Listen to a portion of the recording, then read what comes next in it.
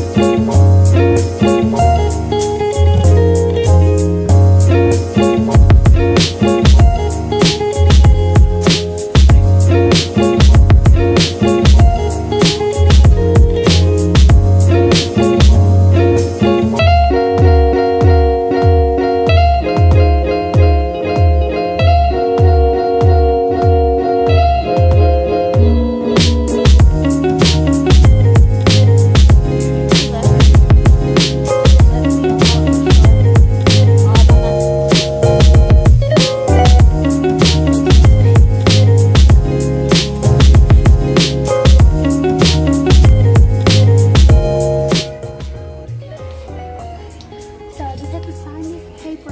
They're not gonna take my